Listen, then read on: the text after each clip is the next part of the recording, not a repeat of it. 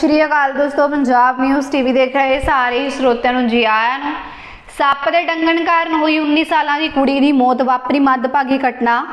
ਤਾਜ਼ਾ ਵੱਡੀ ਖਬਰ ਆ ਚੁੱਕੀ ਆ, ਖਬਰ ਨੂੰ ਸ਼ੁਰੂ ਕਰਨ ਤੋਂ ਪਹਿਲਾਂ ਜਿਨ੍ਹਾਂ ਨੇ ਚੈਨਲ ਨੂੰ ਸਬਸਕ੍ਰਾਈਬ ਨਹੀਂ ਕੀਤਾ ਸਬਸਕ੍ਰਾਈਬ ਕਰ ਲੈਣ ਤੇ ਵੀਡੀਓ ਨੂੰ ਹੱਥ ਤੋਂ ਲਾਈਕ ਐਂਡ ਸ਼ੇਅਰ ਵੀ ਕਰ ਦੇਣਾ। ਪ੍ਰਾਪਤ ਜਾਣਕਾਰੀ ਅਨੁਸਾਰ ਮੱਦਭਾਗੀ ਖਬਰ ਜ਼ੀਰੇ ਤੋਂ ਸਾਹਮਣੇ, ਜਿੱਥੇ ਇੱਕ ਪਰਿਵਾਰ 'ਚ ਉਸ ਸਮੇਂ ਸੋਗ ਦੀ ਲਹਿਰ ਫੈਲ ਗਈ, ਜਦੋਂ ਇਸ ਪਰਿਵਾਰ ਦੀ 19 ਸਾਲਾਂ ਦੀ ਧੀ ਵੱਲ- ਵੱਲੋਂ ਸੱਪ ਨੇ ਡੰਗ ਮਾਰ ਕੇ ਕਤਲ ਕਰ ਦਿੱਤਾ। ਜੀ ਹਾਂ, ਜਿੱਥੇ ਜ਼ੀਰਾ ਦੀ ਤੱਕਾ ਬਸਤੀ ਵਿਖੇ ਰਹਿਣ ਵਾਲੇ ਇੱਕ ਪਰਿਵਾਰ 'ਚ ਬੀਤੀ ਰਾਤ 19 ਸਾਲ ਦੀ ਰਜਨੀ ਦੀ ਲੜਕੀ, ਰਜਨੀ ਦਾ ਦੀ ਲੜਕੀ ਨੂੰ ਸੱਪ ਵੱਲੋਂ ਰਾਤ ਦੇ ਸਮੇਂ ਡੰਗ ਮਾਰ ਦਿੱਤਾ। ਇਸ ਘਟਨਾ ਤੋਂ ਖੁਲਾਸੇ ਦੀ ਲੜਕੀ ਵੱਲੋਂ ਆਪਣੇ ਪਰਿਵਾਰ ਅੱਗੇ ਕੀਤਾ ਗਿਆ ਅਤੇ ਪਰਿਵਾਰ ਵੱਲੋਂ ਜਲਦੀ ਹੀ ਆਪਣੀ ਬੇਟੀ ਦੀ ਨਾਜ਼ੁਕ ਹਾਲਤ ਨੂੰ ਦੇਖਦਿਆਂ ਉਸ ਨੂੰ ਤੁਰੰਤ ਹੀ ਪਰਿਵਾਰਕ ਮੈਂਬਰ ਤੇ ਰਿਸ਼ਤੇਦਾਰਾਂ ਵੱਲੋਂ ਹਸਪਤਾਲ ਲਿਜਾਇਆ ਗਿਆ। ਉੱਥੇ ਸਿਵਲ ਹਸਪਤਾਲ ਜ਼ੀਰਾ ਵਿਖੇ ਲਿਜਾਣ ਉਪਰੰਤ ਹਸਪਤਾਲ ਦੇ ਡਾਕਟਰਾਂ ਵੱਲੋਂ ਉਸ ਲੜਕੀ ਨੂੰ ਮ੍ਰਿਤਕ ਘੋਸ਼ਿਤ ਕੀਤਾ ਗਿਆ।